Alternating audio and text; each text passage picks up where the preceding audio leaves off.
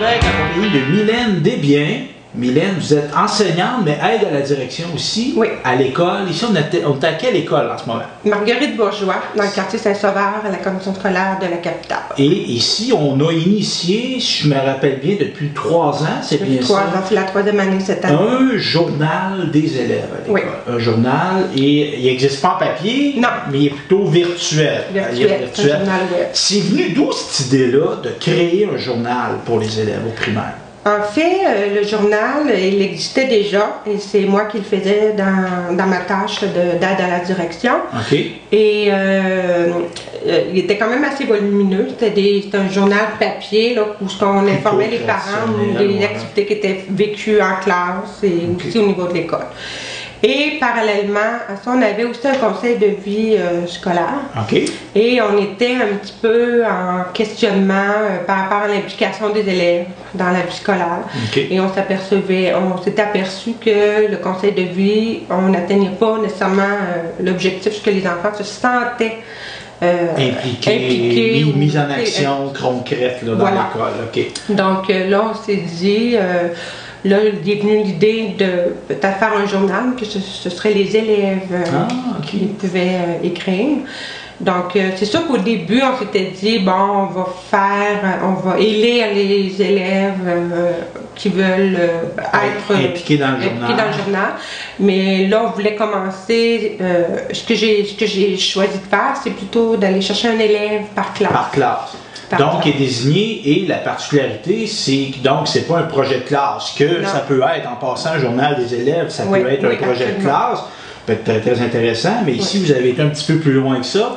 Et même les plus jeunes, les maternelles, Oui. il y a un journaliste en maternelle là, ici Oui. à l'école. Oui, on a, les dernières années, on avait deux, deux classes de maternelle. Donc, j'avais euh, deux élèves de maternelle et euh, on a eu même des élèves en adaptation scolaire.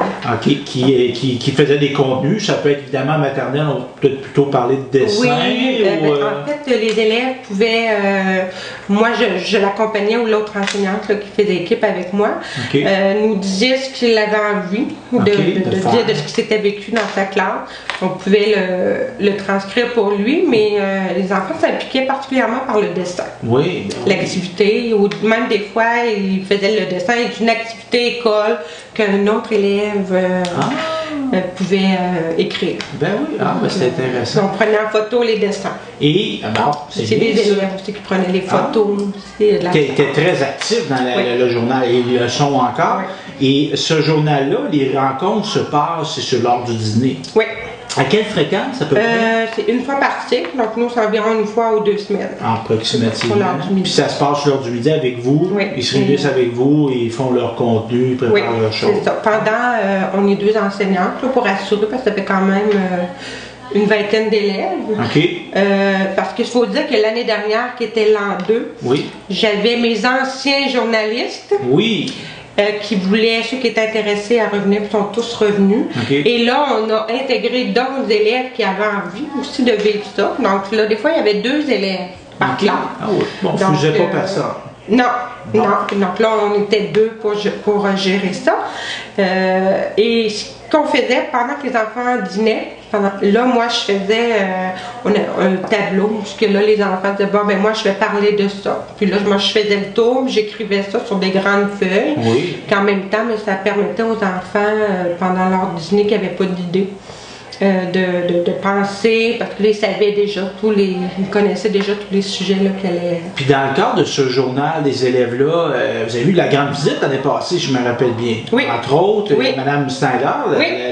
Absolument. l'animatrice de télévision, la productrice de télévision qui est venue faire un tour. Oui. Et euh, comment ça s'est passé? Il y, a des- il y a des enfants, des journalistes élèves qui l'ont Oui. interviewé.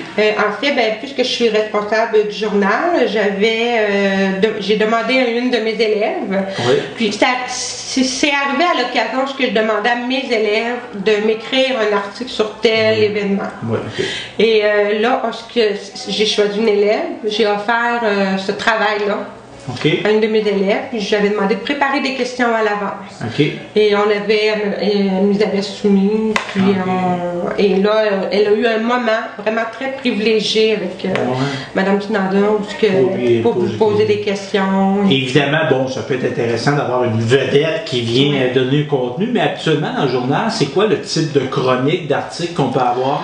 Euh, pour euh, l'instant, parce qu'on est encore dans nos premières années, l'année dernière, on a fait un petit peu plus de choses, mais euh, c'était surtout des articles sur la vie euh, en classe ou la vie de l'école, des événements qui s'étaient produits ou des événements à venir, ce qu'on annonce. On, mettons, on va rapporter, nous avons été faire un voyage, une sortie éducative à tel musée, puis on parle ça. de ce qui s'est passé. Ou euh, Donc, par exemple, euh, on a, à toutes les années, on a une, une dictée, une grande dictée, parce que là, on annonçait qu'elle allait avoir une, une dictée, telle date, avec tel invité, de se préparer. Euh, puis qu'on disait, bon, là, les enfants sont en train de se préparer. Et puis quand l'événement avait a eu lieu, après, là, les enfants en parlaient au, au passé. Là.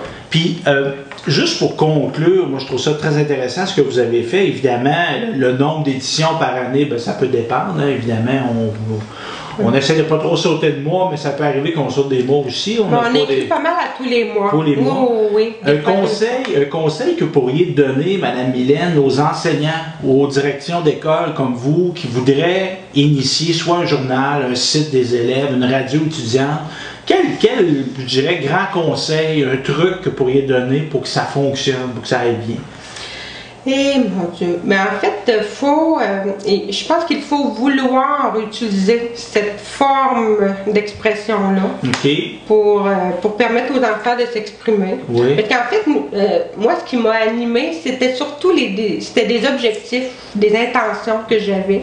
Le journal, mais c'était un moyen. Puis ces intentions-là, c'était de mettre en action concrètement les jeunes dans un projet à l'école, Oui. mais aussi leur donner une, une Euh, occasion de s'exprimer. Il y avait cette intention-là, mais aussi l'engagement.